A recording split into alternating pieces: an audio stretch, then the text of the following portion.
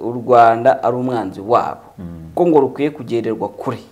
Yavuze ko nta mubano na muke azongera kugirana narwo Tshisekedi yavuze ko ubwo yajyaga ku butegetsi yemeye gukorana n'u rwanda mu bikorwa bigamije gushyira iherezo ku bwicanyi n'umutekano muke mu burasirazuba bwa kongo yavuze ko iyo mikoranire yari igamije guteza imbere ibihugu byombi ariko ngo u rwanda rwaje kumuhemukira. Rumuca ruhinga inyuma yavuze ko ngo nta na rimwe azongera kuvugana n'u rwanda hamwe na perezida warwo paul kagame. Ati naramubwiye nti njye nawe birarangiye. Tuzongera kuvuganira mu ijuru imbere y'imana. Yaturemye. Niyo izaducira urubanza itubwire umubi n'umwiza.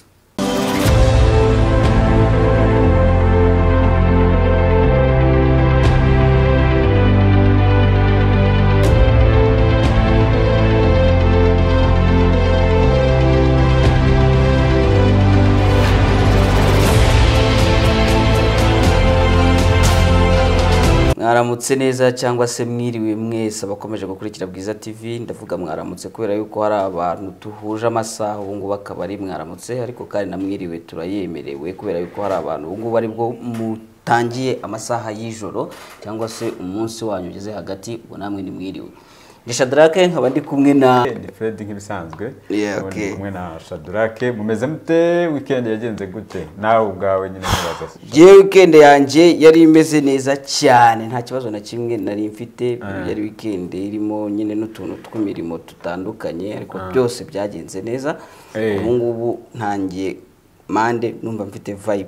Eh, vibe Eh, tunabwira nyine abakunzi ba Bwiza TV gutangira icyumweru bameze neza cyane. Sure turabifuriza kugira Eh, rwose bazahahe baronke nyine. Eh, ariko noneho eh, n'ubundi tubazaniye amakuru agiye atandukanye. Eh, cyane cyane n'ubundi eh, ari- arimo abera muri repubulika iharanira demokarasi ya kongo eh, n'ahandi muri rusange. Okay, so tubabwira ngo n'ubundi bakomeze babane natwe ariko tubibutsa n'ubundi gutera inkunga bwiza tv Na tujye bwiza.com tubagezaho- cyangwa se Bwiza rusange.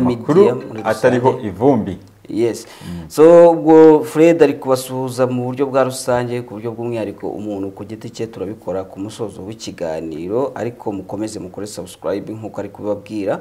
Mukore comment mukore share mukore like mukore ibintu byose bishobora gutuma bwiza tv ikomeza kuvibratinga igakomeza kuba big channel kandi turabashimira abamaze kubikora. Mwebwe muri abantu b'intangarugero cyane. No kudutera inkunga na byo yabibabwiye mukomereza aho ngaho. Nimero mwanyuzaho iyo nkunga ni iyo ngiyo muri kubona hasi ku kiganiro. Turayitegereje na yo kugira ngo twagure ibikorwa bya bwiza media cyangwa se bwiza yose muri rusange. Fred rero amakuru yari menshi muri weekend pe ntakubeshye. Nabonye amakuru yari menshi. Harimo press conference menshi. M23 harimo kwitangira kwiyamamaza kw'abakongomani ni ukuvuga abakandida biyamamariza ku mwanya wa perezida wa repubulika iharanira demokarasi ya kongo na hano mu rwanda u rwanda rwagize ibyo rusubiza ku mvugo za perezida Tshisekedi ku by'umwihariko ibyo yavugiye muri cya kiganiro yagiranye na Fr- France 24 eh, aremu ukuntu abonye yaramusubizaga muri rusange bwira abantu ingingo zo tugiye kuganiraho muri aka kanya muri iki kiganiro bijyanye n'ayo makuru yose yari ahari muri iyi weekend ishize. Ni ukuvuga ngo oh, hano hari amakuru agiye atandukanye ariko ndumva yagiye avugirwa muri press conference ya M23 yabereye Bunagana. Abantu benshi ngira ngo bagiye bayakurikira ndumva ngira ngo n'ejo mwarayagarutseho Eh, ariko noneho haba harimo n'ingingo nyinshi cyane zigiye zitandukanye. Ndumva mwaravuze ukuntu nyine eh, Bertrand Bisimwa perezida w'uriya mutwe wa M23 yagiye kwirebera ndayishimiye Sure. ubwemwenye bakamwiyama ko agomba kureka gukorana na wazarendo ndetse na FDLR na FARDC ariko undi ngo yarabihakanye yaravuze ati dushyigikira M23 natwe dushyigikira ikosi zanyu z'impamvu mu Rwanda ntabwo twatera inkunga Eh. abakongomani cyangwa se FARDC ariko bitandukanye n'ibiri kuri televiziyo Yes, hanyuma ntabwo ari ibyo rero turi buvugeho ni uko tugiye uh, kuri uyu munsi n'ubundi turi turi bukomoze kubijyanye n'uko abakandida hariya muri republika iharanira demokarasi ya kongo bakomeje kwiyamamaza ariko ngo bose barimo baragenda batanga urufaranga usibye na kisekedi Eh. ngo hari abandi barimo no guca ku bo bita ba opinion leaders Ye. cyangwa bariya bavuga rikijyana mu- muri iriya mijyi barimo kubaha rwose agatubutse amafaranga Eh, kongo ari kuvuza ubuhuha Eh, abantu kugira ngo bavuge neza hanyuma rero ni nako bafite ni amafaranga nako M23 Ya. ah, yatangaje ko yiteguye kwerekana abandi basirikare benshi yafashe. Yego. Aha turaza tubigarukeho ariko nanone Kisekedi eh, Kisekedi rwose yavuze ati ndiyemeje ewana gupfira icyo bita RDC ese azayipfira gute? Akomeje kugenda ahubwo ayishyira hanze. Tura- tubigarukeho. Eh, ikindi nanone mu bikorwa bye byo kwiyamamaza byense ni ho yavugiye n'ibyo ngibyo by'uko azapfira kongo ikindi yavuzemo yavuze yuko ngo u rwanda cyangwa se perezida w'u rwanda paul kagame ngo batazigera bongera kuvugana. Ngo finaroma ubwo ngubwo ngo bwa nyuma na nyuma bazahurira imbere y'imana. Ngo ay. bariyica urubanza ukibaza se nadahura nawe azaba ahombye iki buriya cyatari ku buryo sinzi ubwo abantu badukurikira mudufashe kumva ninde uzahomba? Paul kagame natavugana na tisekedi biturutse kuri tisekedi Eh, kuko ninde- tisekedi ni we wafashe iyo inisiyative ariko u rwanda nyine rwanabaye intero mu bikorwa bye byo kwiyamamaza cyane. Yabigarutseho cyane turaza ku- kuyigaruka ino nkuru. Ah. indi nkuru iri karenti ntekereza ko waje mu kiganiro utazi ni ivuga yuko matata ponyo yamaze kwivana mu bakandida bagomba guhatanira umwanya wa perezida wa repubulika iharanira demokarasi ya kongo ponyo umwe wabaye minisitiri w'intebe wa kiriya gihugu. Ah okay okay okay, okay. Eh, ubu rero Kubera iki yikuye mu bahatana turaza kubireba. Ariko yamaze kwemeza yuko atakirimo.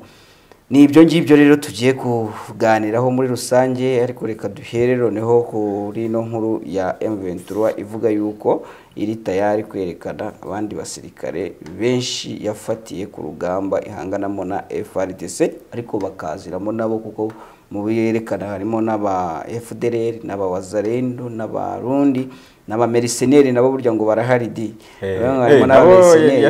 aha nuko itaraberekana ariko ngo barahari. Nabo ashonje dushonje tubahishiwe mu minsi iza tuzajya kuba tubone batweretse rutuku ariko ari ku- kugaragazwa yambaye impuzankano z'abarwanyi ba aho, yaturutse n'uwo- avuga na n'uwo- matirikire yiwe nkuru na yo turayikumbuye kweri. So inkuru rero iravuga ngo umutwe witwaje intwaro wa M23 watangaje ko witeguye kwerekana abandi basirikare barimo ab'u Rwanda ab'u Burundi sorry n'aba Repubulika ya Demokarasi ya Kongo wafatiye ku rugamba mu bihe bitandukanye. Ibi byavuzweho na Bertrand Bisimwa mu kiganiro nyine ubuyobozi bw'uriya mutwe bwagiranaga n'abanyamakuru kuri ya tariki ya cumi n'umunani z'ukwezi kwa cumi na kumwe bibiri na makumyabiri na gatatu. Mu gihe M23 ivuga ko yafashe mpiri abasirikare b'abarundi benshi bari baragiye muri buriya butumwa bw'amahoro bw'umuryango wa y'Iburasirazuba umunyamakuru wa Bwiza TV na bwiza.com yabajije Bertrand Bisimwa umubare wabo maze amusubiza ko urugamba rukomeje abafatwa bakomeza kugenda biyongera. Ati nk'uko mubizi urugamba rurakomeje kandi dukomeje gufata abo ngabo b'u Burundi n'abandi. Igihe nikigera tuzabatumaho kugira ngo tubereke abo twafashe bose. Nibiba ngombwa namwe mwiganirire nabo. Ahubwo- si ikibazo mfite kubera icyo bataberekanye muri iriya press conference. Ako press conference ubwo ntabwo ari cyo yari igenewe. Ntabwo ariko barabitse tu. Ariko urumva nyine n'icyo avuga baracyafata n'abandi nyine bishoboke ko kereka niba bamugani bashaka kuzaberekanira rimwe. Bashaka kuzaberekana ari Eh, kugira ngo hashye neza Ah. bavuge bati bya bindi rimwe. bati bya bindi tujya tubabwira. Eh. eh, mukagira ngo ntago ari byo dore ngaba dore ngaba noneho n'abo barugigana baba barimo bakagira gute bakigaragaza bakavuga ido n'ido nk- nka ba bandi duherutse kubona baba b'abarundi n'abawazarendo n'aba FDLR bose bakabivuga. Urumva rero ah, ni ikintu wa mugani twiteze tuzareba koko. Kandi mu minsi yashize M23 yavugaga ngo twafashe abantu benshi. Hanyuma abantu bagatangira bakavuga bati oya kuki mutaberekana? Hashize iminsi ingahe baba barabadarapye ikindi ikindi bavugaga banavuze no muri iki kiganiro ni uko bariya repubulika eh, bien sûr FRDC yerekanye baravuze bati bariya ntabwo ari abasirikare bacu. Bariya bantu ntabwo tubazi bariya ni, ni, ni mayibo baba bagiye bagatoragura bakaza kwerekana. Mm. ubwo bivuze ngo bariya abantu eh, ubwo bagaruka kuri ba bandi bigize kubona FRDC yerekana ngo ni abarwanyi ba M23 ngo bafatiwe ku rugamba. Bamwe bavugaga ngo ngo babicisha inzara ngo ibiki n'ibiki ngo bagiye ku rugamba babahatse things like that. M23 rero yaravuze iti bariya they don't belong to us. Ah, eh, FARDC ntunayizi ishobora no kugenda ikazana wa mugani n'abawazarendo ikavuga iti muvuge ko muri. Eh? muvuge ko muri aba ariko wazarendo nahoze mbona uri ku- uri kureba ngo bakomeje kuyirukankana di? Eh, wazarendo eh, yego mba- bamaze gukomeje kuyamagana. Ah, kubera ko ngo irimo ku- kugenda ihohotera abaturage ariko kubera impamvu z'urumogi ngo irimo iranywa urumogi rwinshi cyane. so bagasaba rero ko eh, ko ababishinzwe cyangwa se leta yahaguruka igahagarara kuko ngo urumogi rurabishe ariko ubwo ba- ubwo baba bibuka yuko perezida Tshisekedi yavuze yuko wazarenda ari abantu be bakomeye cyane ngo banarusha imbaraga na, FRDC none se uh, Eh, imbaraga bazihabwa n'uru rumogi ndeba barimo ba- ba- ba- ba- ba- ba- ba- babashinja yaravuze ngo ngo ngo wazarendo ngo ni abantu b'abasore bahagurutse kugira ngo bajye kurinda umutekano wabo n'igihugu cyabo. Nyuma y'uko bari babonye yuko FRDC itabishobora FRDC n'igisirikare cya Kongo Ah. kitashobora kubarinda bahisemo nyine kujya kubyikorera abo ngabo nibo bawazarendo abo baturage barimo barirukankana abantu ba perezida barashya barabotsa ariko ah, hagati aho nanone ndi kubona ngo aba monisco Mm. ngo basatiriye intuza kariya gace ka sake.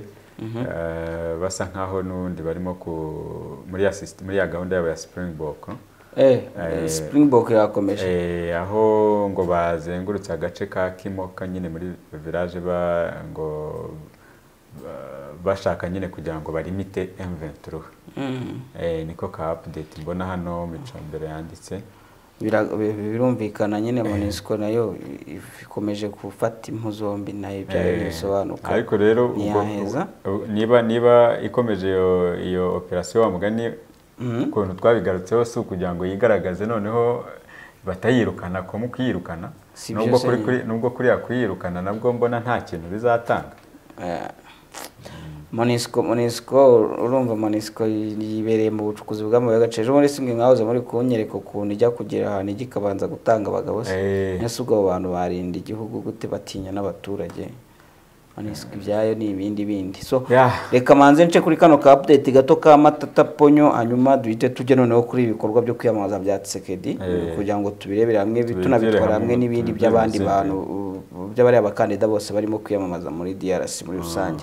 So matata ponyo rero we wabaye minisitiri w'intebe wa Repubulika ya Demokarasi ya Kongo yatangaje ko yikuye mu bahatanira kuba perezida wa kiriya gihugu yitwa ubundi Augustin Auguste Matata Ponyo akaba yarabaye minisitiri w'intebe wa Repubulika ya Demokarasi ya Kongo kuri ubu ngubu rero akavuga yuko muri eh, kandidatire yari yaratanze yo guhatanira umwanya w'umukuru w'igihugu ayikuyeho.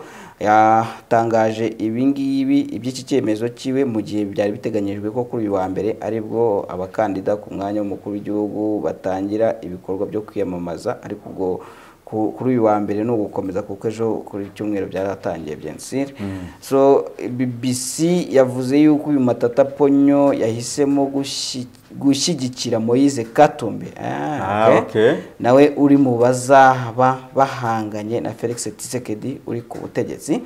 Mu cyumweru gishize ni bwo abatavuga rumwe n'ubutegetsi bwa Repubulika ya Demokarasi ya Kongo bahuriye hamwe muri South Africa. Urabyibuka ko twabikozeho inkuru. Batangaza yuko bashaka kugira ngo bahurize hamwe amaboko kugira barebe ko bahangana na Tshisekedi uyobora kiriya gihugu kuri ubu ngubu nawe uri mu bari kwiyamamaza. Rero ibyavuye muri ibyo ngibyo ni uko harimo bamwe nyine byarangije ubwo bufatanye bumvishe bushoboka. Akaba ari muri urwo rwego rero ponyo nyuma yo gutangaza iki cyemezo yavuze ko yizeye ko hari n'abandi benshi bari butere ikirenge mu cye bagashyigikira Moise Katumbi. Amatora y'umukuru w'igihugu cyo eh, cya DRC nyine ateganyijwe ku itariki ya makumyabiri z'ukwezi kwa cumi n'abiri. Akaba ariyo mpamvu n'ibikorwa byo kwiyamamaza mu buryo buri ofisho biza gutangira kuri uyu munsi kuko amategeko ateganya yuko bimara igihe cy'ukwezi. Tubibutse ko hari intara ngira ngo ebyiri ni ni ni ni ni ni ni ni ni- ni- ni- ni- ni ni Ni ni ni ni ni ni ni ni masisi. Teritwari ya masisi niba na rucuru Eh, nzinzi yes. gushakire. Mm, ntago abo ngaho ngaho amatora azaba arimo? Aho ngaho abo ngabo baho ngaho bave mu matora. Ahubwo icyo iyo ngingo uvuzeho izi nyibutsa iki- mu kiganiro twari turimo ejo meki yatubwiye akantu. Ah. yatubwiye ati "Eh, bya bintu birirwa bavuga ngo ni barikanizasiyo di kongo Ah, ntabwo ntabwo kizaba ari barikanizasiyo ahubwo M23 already DRC yamaze kuyihereza ibice igomba kuyobora. Urabona barikanizasiyo yo iratandukanye. Barikanizasiyo byo baba bavuga ko ari ukuntu igihugu cyiyomekaho agace k'ikindi. Mm, iyo ntabwo ari izabo. Buriya barikanizasiyo wavuga ko ari nka biriya abarusiya bakoze kuri sibyo? Eh, Eh, ah. eh, buriya byo byaba ari barikanizasiyo Mm. muri DRC rero ho babyitaga barikanizasiyo bashaka gushinja u Rwanda. Bavuga ngo u Rwanda rushaka gutwara igice cyabo. So it is not the, the, the, thing. Kuko ubu gihari ahubwo ni uko M23 bisa nkaho DRC yamaze kwihereza iyi rucuru na masisi ngo mufata abo namwe ngo control. Ah. kubera yuko deja nta matora azaba none ko abaturage ari abaturage ku ibice byigenga. Oya ntabwo byigenga yo mutura bigenga none- deja. ni cyo bisobanura nyine ni ibice byigenga bitari bitarimo kuyoborwa. None se niba Kisekedi adashaka ko habaho amatora ngo ngo bamutore cyangwa ntibamutore bisobanuye iki? Uretse urumva ubutegetsi buriho karentiri yaba inteko ishinga amategeko yaba ubundi butegetsi bari bu bune sibyo? Sinzi ariko na bune bune niko ku isi hose buteye. Nyubahiriza tegeko nshinga amategeko n'ibindi n'ibindi. ubundi ni legislative executive na na judicial. bose ubwo barumvikanye bavuga bati ikishoboka ni uko muri masisi na rucuru kubera yuko bari mu ntambara batazatora. Noneho ibyo byongereho ko abantu bari muri utwo duce ubu tuvugana meki yaratubwiraga ati iyo bakeneye icyangombwa tuvuge ashaka pasiporo Ah. tuvuge afite ukuntu ashaka icyangombwa gituruka ku butegetsi. Eh. ntabyo babona. Noneho ikindi ibijyanye n'imisoro. Gus- gusora wenda kwaho urabona hariyo nk'umupaka uriya wa bunagana Eh, Bunagana. Eh, ibijyanye n'imisoro ibijyanye n'amahoro ibyo byose leta ntabwo iza kubikorekitinga hariya kuko ntabwo ari mu bwatsi bwayo. None iremeje iti ntabwo aha ngaha hazaba amatora.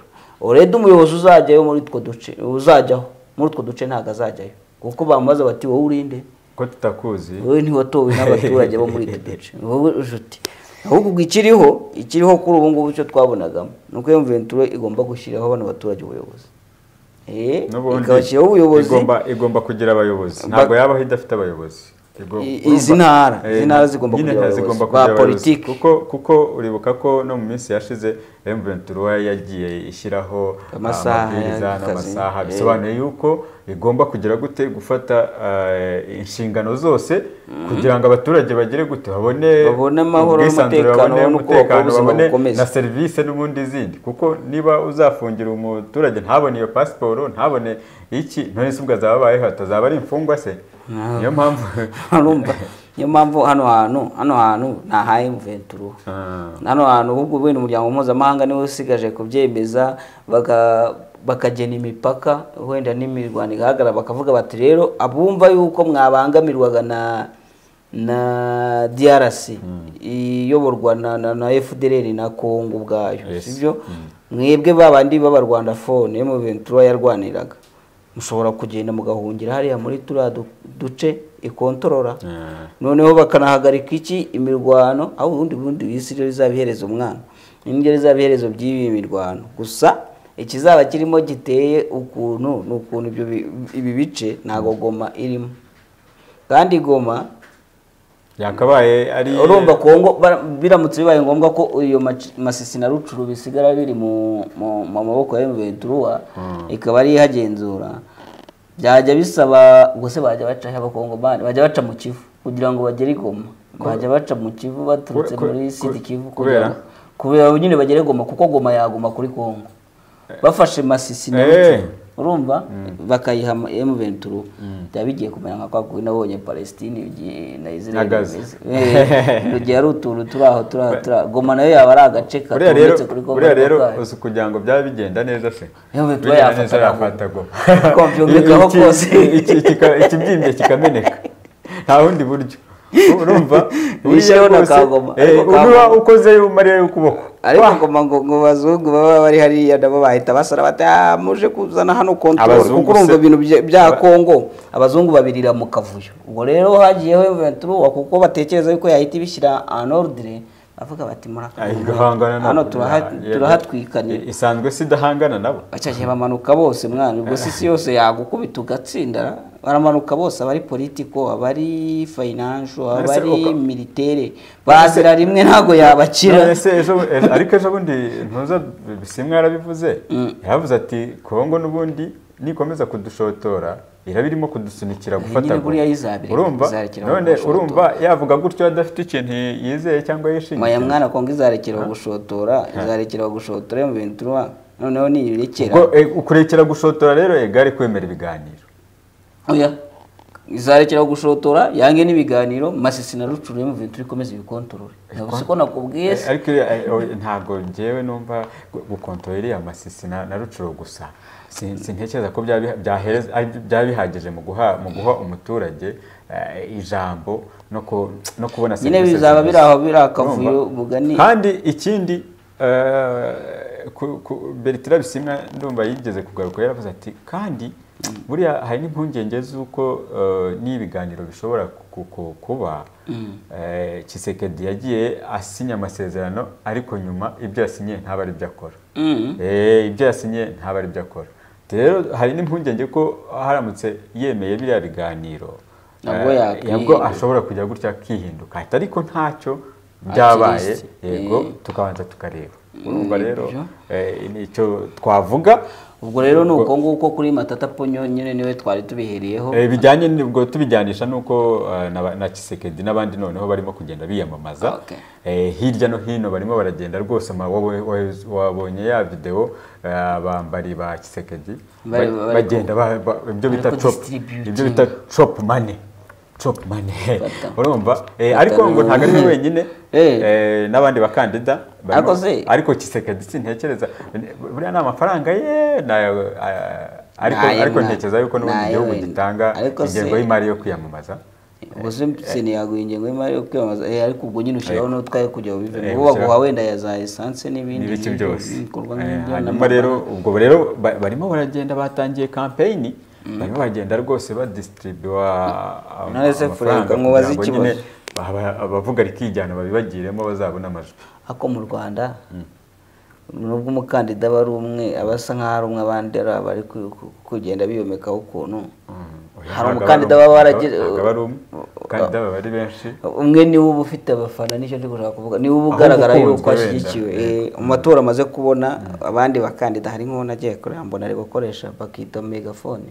Ka kandi Eh, bafata gutya kakamikoro. ubona kabisa yuko ibikorwa byiwe nawe umutoye waba udashaka ko igihugu gi- gi- kigiraho Eh, ariko ni uburenganzira bwe Bazongera- oya, ni uburenganzira bwe amafaranga. demokarasi ni cyo isobanuye ni cyo isobanuye Eh. byensira ariko byiza byaba byiza agaragaje yuko nyine uh, afite ubundi no kugira ngo wiyamamaze ntekereza ko aho sinzi ikintu bisaba di.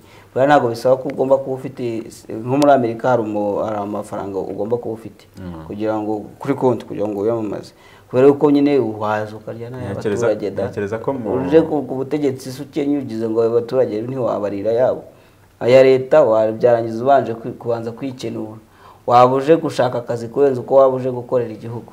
Ariko gukorera igihugu se ari n'akazi hari icyo bitwaye?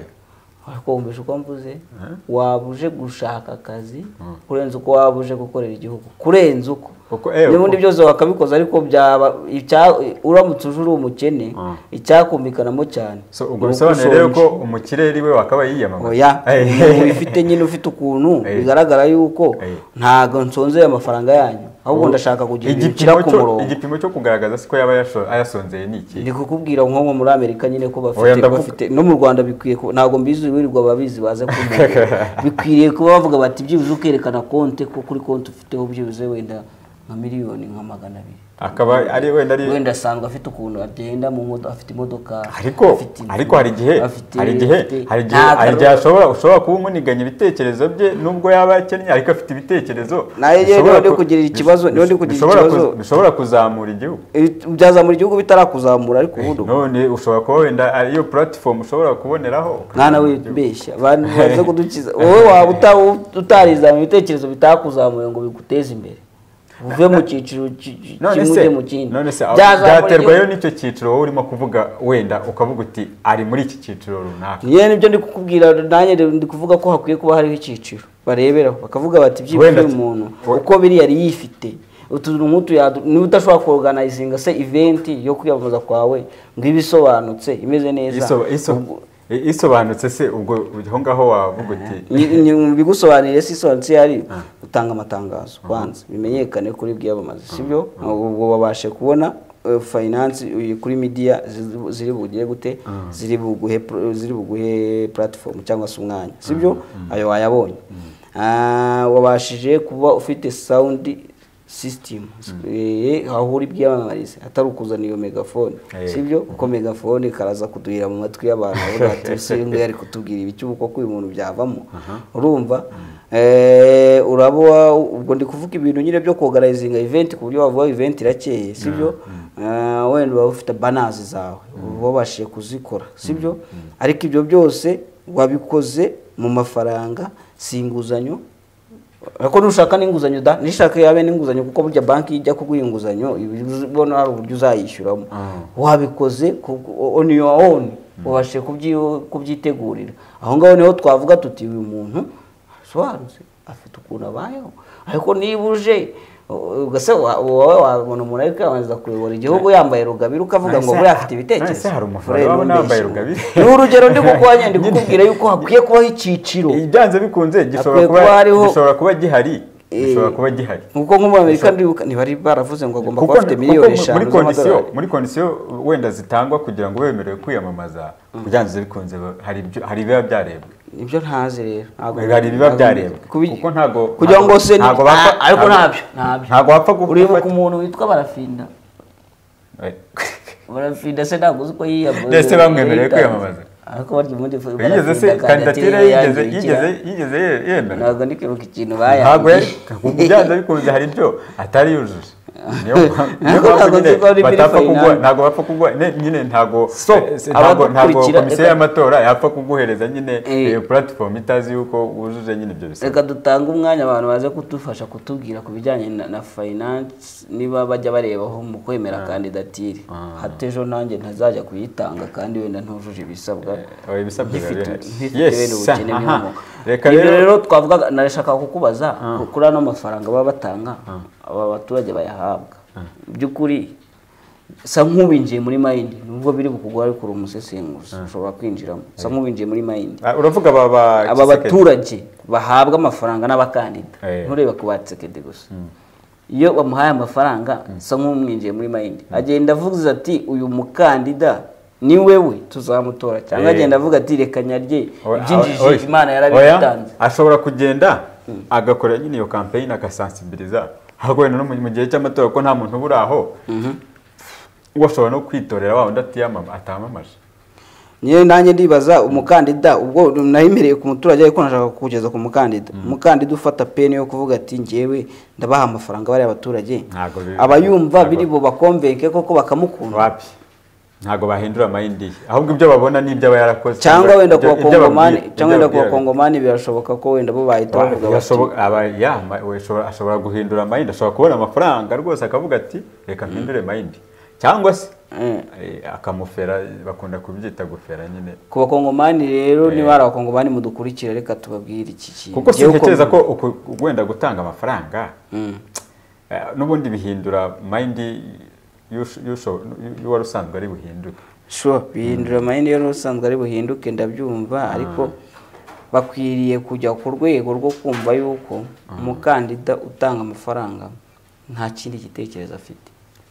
Nta kindi gitekerezo cyazamura igihugu afite. ubundi baka- aje kubaratira. ubundi bakabaye bagendera ku byo ku migabo n'imigambi niba wenda ari abagiye kwi- kwiyamamaza ku nshuro ya mbere wenda bakareba ntuza agenda yabo cyangwa Ahashize habo. Eh, eh, bakareba na gahunda bafite hanyuma bakavuga bati uyu nguyu rwose ashobora kugira icyo atumarira.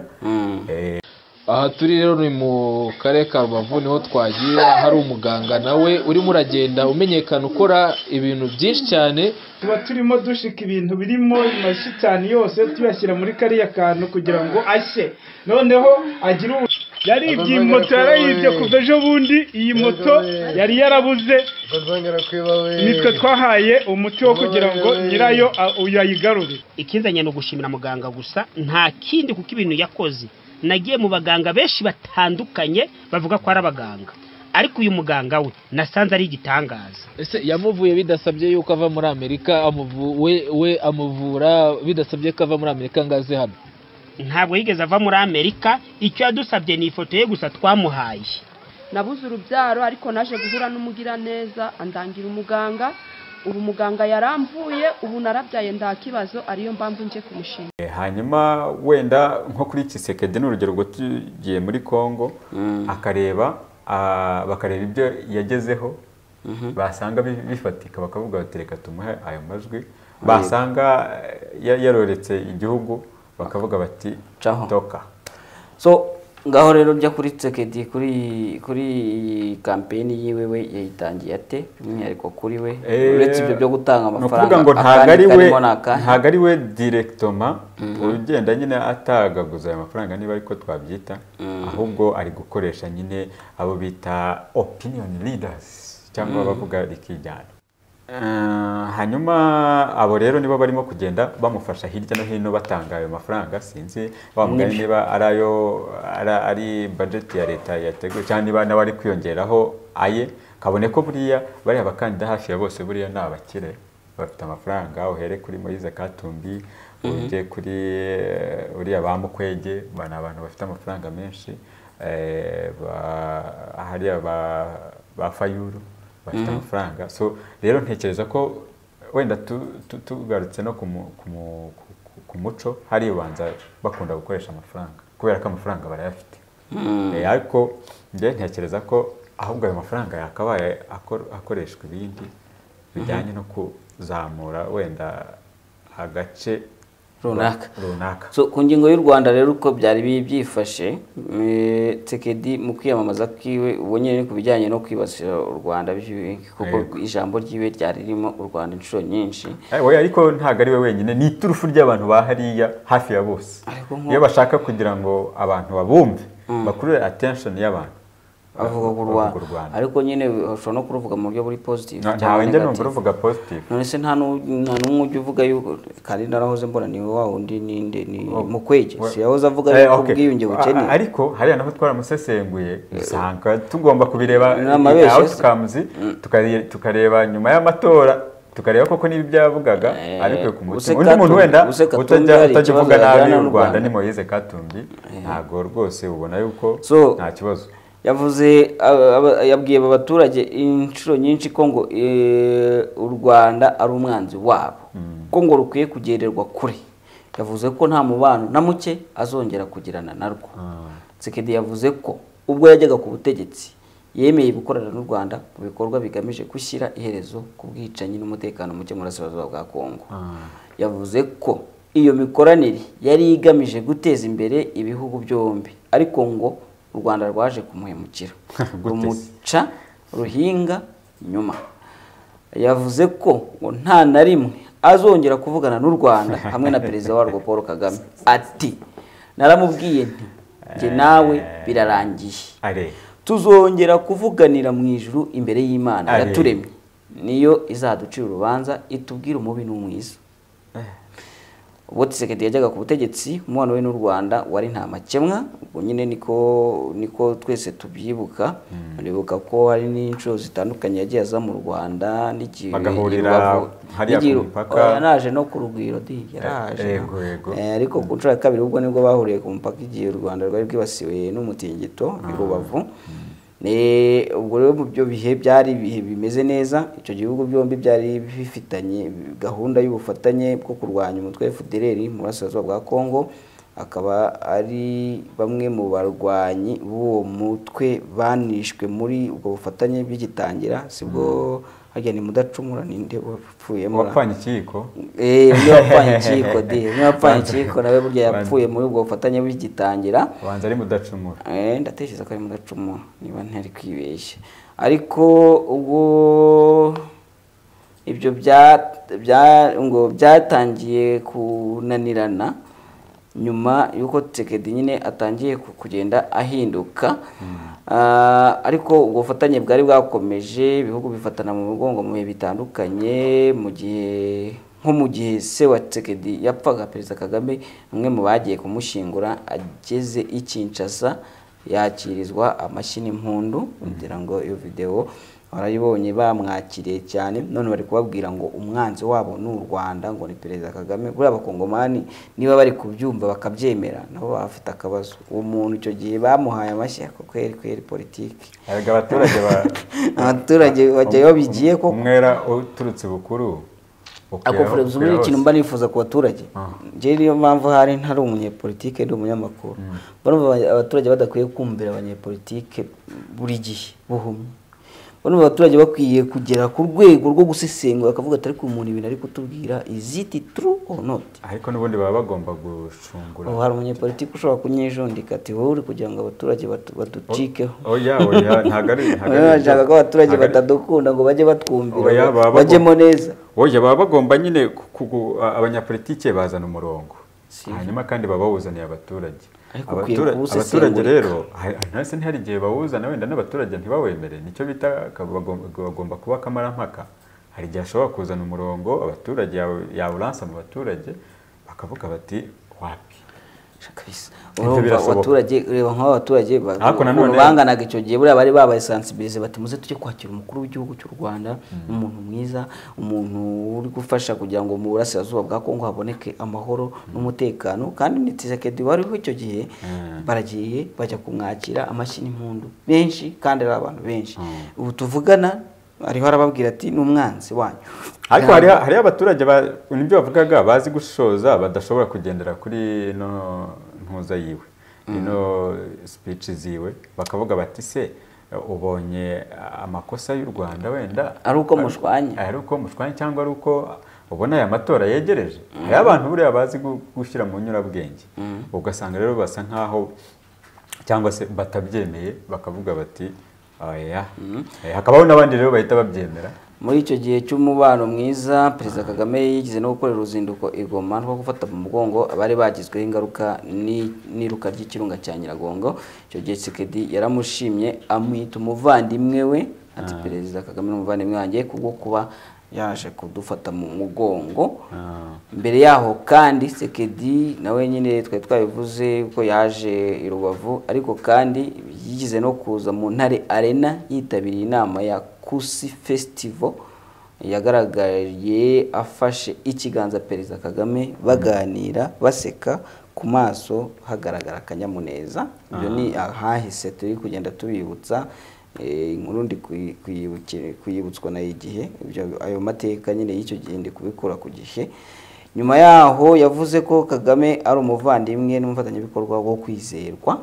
Nabyo yarabivuze. None ubu tuvugana eh, perezida kagame ngo ni umwanzi wabo ndetse ngo bazahurira hehe mu ijoro perezida kagame yakunze kuvuga ko yasobanuriye kenshi tsekedi umuzi w'ikibazo cyo mu burasirazuba bw'igihugu cye rimwe bagasa nk'aho abyumvishe uwo tsekedi ariko nyuma aza guhindura imvugo burundu ariho handi tuvuga ko impamvu imwe rukumbi yatumye tsekedi ahindura imvugo ari fdr kuko fdr yamaze gufata Ibyo- imizi mu ibyo- butegetsi bwa ibyo kiriya bihise gihugu bihura na bya bindi nahoze mvuga Bertrand Bisimwa yavuze yuko Tshisekedi ashobora gusinyira ikintu hanyuma ejo ntashyire mu bikorwa icyo yamaze kujya gute gusinyira urumva biranahura niko bimeze Ah. rero urumva urumva nta yindi mpamvu nta yindi logike irimo ni ukubera ko fdr baramubwira bati ibyo uriho urakora ibyo uriho urihuza n'u rwanda byo. yuko frdc egare fdr. FRDC ari cyo buriya twagukubita kudeta hano muri FRDC imyumvire dufite ni yuko FDLR ari abantu beza. Niko bamubwiye buriya. Nicyo kintu twaje kubona cyaje gutuma ibyari ubucuti bihinduka urwango. Ah. baramubwiye bati niba ushaka kuguma kuri ubu butegetsi niba ushaka kwirinda kudeta dore zirashoboka mu burasirazuba mu burengerazuba bwa Afurika urabibona Ah. please hindura urekeraho gukorana n'u Rwanda murwanya FDLR kuko FDLR hano muri FRDC turayemera turayishyigikira tuzi yuko ari bo bantu. Iravuga rikijyana ba- ba- ba- bashinze imizi niwo mutwe ushinze imizi. Buriya hari abavuga yuko ngo FDLR ariyo ikorekitinga imisoro yo mu burasirazuba bwa Congo. Ah, bakanavuga yuko ariyo ituma Congo ibasha gukorekitinga amafaranga mu bintu by'ubucukuzi no mu bintu bya by- by- by'ububaji ni nkayo mu makara. ni- nka- ni nka minis- ni nka minisiteri Eh, y'ibikorwa remezo Magashi se niyo akubwira ko ngo MONUSCO ni abakozi ba FDLR kandi ibi bintu logique. FDLR ngo ni boss wabo. Ubwo FDL niyo ibaha kandi yareka ibahakaze umugani niyo umuntu akazi ni niba FDL riri mu barinda riri mu bakuriye abarinda Kisekedi nta kintu yavuga. urumva atari yashinze imizi niyo mpamvu ikibazo kiwe kizanakomeza kugorana. Hanyuma ariko uri eh, ejo nabonye Ako muri buriya muri press conference na- na- nabonye ukuntu nanone bavuga bagarutseho ukuntu Kisekedi ngo yishyura abameriseneri amadolari ibihumbi bitanu kuri buri musirikare ariko umu, umu FRDC ngo akamuha 100 dolari ubwo urumva Hasi urumva muri- ubwo akubiye muri ba mercenaires ashobora kuba n'abahereza na Mm. na na 5000 ariko se buriya iyo arebye igihe bamaze umwaka ntibagiye kuwumarara abona koko ibyo bihumbi bitanu babikwiye abona bakora iki abafite abantu bafite amafaranga yo gutera so ngaho nyuramo no kuri iyo nkuru y'uko muri kiriya muri kuriya kwiyamamaza ko yavuze y'uko azapfira azapfira DRC wiyemeje kuzayipfira hanyuma Eh, dusoza ikiganiro. tunayisorezaho Ah, hanyuma hano Tshisekedi avuga ko ah, yijeje yine yijeje abenegihugu ko yiteguye gukoresha ingufu zose afite mu kubaka no kurinda ubusugire cyangwa se kurinda RDC byaba ngombwa akaba yanapfira muri urwo rugamba. Urumva hanyuma ubwo yabitangaje n'ubundi kuri iki cyumweru tariki ya cumi n'icyenda ugushyingo ubwo yatangiraga eh, ibikorwa byo kwiyamamaza ah, muri stade ya Ma- Marts i Kinshasa. Hanyuma ni Tshisekedi uri kwiyamamariza kuyobora n'ubundi RDC muri manda ye ya kabiri nyuma y'uko iya mbere yatowemo muri bibiri na cumi n'umunani iri kugenda igana ku musozo. Hanyuma imbere y'ibihumbi by'abanyekongo Tshisekedi yagize ati njyewe umukandida wanyu nimero makumyabiri. Njyewe perezida wa repubulika. Eh. nimero ni- eh, ni- nimumenye ko kugeza mpfuye ntazigera ntezuka eh, ku kubakunda gukunda igihugu cyanjye nzatanga ubuzima bwanjye ku bwa kongo. Hanyuma Tshisekedi yunzemo ko abanyekongo eh, baza imbere mu bimuhangayikishije ashimangira ko niba umunyekongo ari we ubi- ari we ibikorwa bya leta byose byubakiyeho bisobanura ko azashaka kubaka igihugu cye. Sekedi yatangaje ibi mu gihe abatavuga rumwe n'ubutegetsi bwe bamushinja kuba nta kintu ah, gifatika yagejeje kuri RDC ah, mu myaka itanu amaze ayobora iki gihugu. Hanyuma kuri ubu abenshi mu banyekongo ba- babayeho mu buzima bubi kubera ubukene hejuru y'ibi bice bitandukanye bya RDC biracyugarijwe n'umutekano muke ah, uterwa n'imitwe yitwaje intwaro. Ubwo urumva rero eh, ariko di ubanza noneho usibye ku- kuba muri rucuru na masisi. Eh, a- ariho havuzwe ko nta matora azaba. Ntekereza noneho ubu ko amatora azaba ngira ngo amatora yazaba se batangiye kwiyamamaza hazaba kereka habonetse indi kidobya se bakuntu cyangwa se wenda bakaba batangiye kwiyamamaza se ari nko nyirarureshwa ariko nyuma akaza kuburizwamo. Andi bari kumena amafaranga mwana amatora azaba Eh? azaba ahubwo ni cyo twibaza azaba imirwano izaba yoroshye. Ubuse mugani nko ku munsi wayo. Nicyo nari ndimo mvuga. FRDC iramutse ihise iyohereza urukompura Eh. oh nyoko ukuntu bigiye noneho hakaba intambara yeruye. Eh, ubundi se irahari ahubwo ikarwohereza kuko iyohereza urusasu amara kurwohereza bigaragaza yo ventura uko njye nabibonye ihita ivuga iti hari ahantu barurasiye muhashyire mu matware yacu. Hato batazongera guturuka uruntu igahita ihafata. None niba rwohereza ubwo byo ndanabihuza n'ibi- n'ibi ibyo bavuze ejo bundi muri press conference. Ventura yavuze yuko ngo ibyo gufata goma ngo iri tayari kuyifata Eh, nibakomeza kuyirasaho kuyisiga. nibabishaka ko dufata ni Be- Bertrand Bisimwa yaravuze ati nibashaka ko dukomeza kurwana tuzafata n'aharenze umujyi wa Goma. Ubumva u- ibyo ni bya bindi avuga ati anytime baba baturashe twebwe tuhita tu- dusubiza tukagira gute tugatabara abaturage kuko iyo barashe ntibarasa banareba barasa ni politiki. Ubwo rero ndibaza ku munsi buri bucye amatora akaba cyangwa ku munsi w'amatora nyirizina nibohereza uruntu bikarakaza inventory ikavuga iti twamanutse. Twaje bizagenda bite? Hey, a- aho ngaho nyine uzi ukuntu ubwo byagenda? Kuko no muri intambara ntiyaba umunsi umwe ngo bahite bafata Ki- eh, kongo yose. Eh.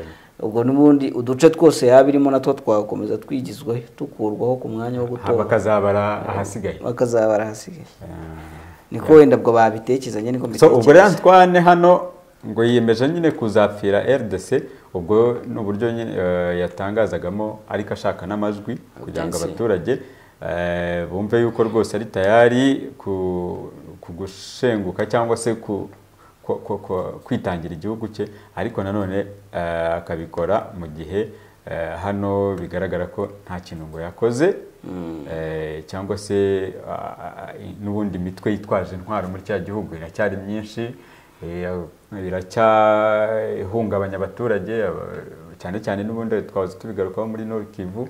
So ugasanga rero yananiwe kujera cyangwa se kumanaginga eh, ibikorwa bya hariya so ukaba rero ari kimwe mu iturufu ishobora no gutuma anatsindwa kubera ko iriya ntambara ya, Eastern Congo ishobora no gutuma atsindwa. Ubundi ikintu kizamukubitisha ni haboneka umukandida ugaragaza uburyo ki akeneyemo amahoro. Akagaragaza uburyo ki ibyabera byiza abakongomani bose ari amahoro kurenza imirwano. Uwo mukandida azamukubita kuko nk'ibi ngibi bavuga ngo ntiyiteguye gushyikirana n'u rwanda ngo bazahurira mu ijoro abakongomani bazi ubwenge cyane cyane nko mu burasirazuba bwa cya gihugu ntabwo babikunda. Ntabwo bakumva yuko amahane n'imirwano ari byo bagiye arya manda yabo imara imyaka itanu. Itanu. Ntabwo bakumva yuko ari byo byiza ko bongera kumara indi myaka itanu mu mirwano mu mu kurebana y'ingwe sinzi abasirikare ku mipaka sinzi umwuka utari mwiza ngo bongere bakore indi myaka itanu. Imvugo ntabwo ngewe ari nkanjye utora ari njye uri butore jyenyine nkaguhesha amajwi. Yatuma nguha zero. Kuko ibyiza ni amahoro. Ntabwo ibyiza ari uko abantu ba- ba- baba bari gukoraringa ntabwo ari byo byiza. So ubwo rero abakongomani ntahabaho guhitamo kandidatire za- zabo zo zumvikanye n'abandi tuzakomeza kugenda tubigarukaho uko bazagenda bavuga ibyo bazagenda bagarukaho tuzagenda tubigarukaho mu biganiro bitandukanye. Reka dusoheza ahadusuhuza Sure, reka tujye ku ngingo yo gusuhuza abakunzi ba Bwiza TV bakadasohoka kandi dukunda tunashyigikira cyane. Twifuza yuko batera imbere kandi natwe twifuza ko baduteza imbere. Muri abo ntangiraho gusuhuza ndatangira kuri Jacqueline Gasirabo ndagusuhuje cyane aragira ati Bwiza TV mufite akazi keza. Ejo banza utarabimenye. Ejo eh, Bwiza TV yakoze gashya Mm, canozi zirenga zirenga nyinshi sinamenya ngo zirenga zingahe. Zari nyinshi cyane zagiye muri press conference ya M23 ndetse n'ibinyamakuru bitandukanye. Byiza ni we yabashije gukurayo ijwi ryumvikana. Reka genda. Ritarimo amakaraza ritarimo njye cya kiganiro ritarimo nagikurikiraga na live. Eh. Eh, live uko cyari kirimo kuba. Bya ehwana amagambo numvishemo n'imbarwa inkunga aba- abakunzi ba Bwiza TV mudutere mwabonye yuko tutayifusha ubusa mikrofone zimeze neza twari tuzifite. Eh. Nimukomeza kudutera inkunga n'ibindi byiza byinshi bizaza buriya twari kukibagezaho live iyo tuza kuba dufite ibikoresho byinshi byiza. Mukomereza aho ngaho rero ako gashya twakoze ni mwe tugakesha. So ndakomereza kuri ntaho mpagaze Emmanuel nawe ukomeza kugira ibihe byiza eh, uwemera nawe ndagusuhuje Chris James ibihe byiza Dias Connect uyu ni Eric wa wundi wadusuye hano Ah, okay. Turamusuhuje Eh, cyane. Eric Dias, turagusuhuje. Ah, Ana ah, uyu nguyu ndamenya yitwa nde Anane bari kubanza arimo reka nkubite n'aha mbangura. Uwamahoro sipiriye Okay. ndamusuhuje dukuze tv ndamusuhuje damien nkaka. Ubwo na n'uwo bita sengireto jojo eh, we. bamusuhuje. Hanyuma uwo bita rukoranyangabo. Umeze ute karangwayire epifanie hanyuma florienne eh, dusenge umeze gute? Hakaza uwo bita eh, Em- emmanuel seruhungu umeze ute? Chantali makurazo bayuza bose turabasuhuje cyane. Nyamukobwa nyambo eh, pumarapide nawe turamusuhuje cyane. Shikaniyo nkuru hanyuma tukazana n'undi bita ruganzu tiger. Ba- users nabo babasuhuje yego. Reka dusoreze hamwe ikiganiro. Yego. Dusoreza ikiganiro abakunzi ba Bwiza TV turabashimiye ko twabanye muri iki kiganiro turabibutsa kandi gukomeza gukora subscribe gukora share kugira ngo n'abandi batari binjira mu muryango wa Bwiza TV nabo baze. Hanyuma munakore like munatange comments kugira ngo dukomeze gutera imbere tuvibratinga tugaragara ku ma homepage y'abantu benshi batandukanye. Gendisha Shadrack niyo nsenga yego nanjye ndi Fred mukomeze mugire intangiriro nziza z'icyumweru. Thank you.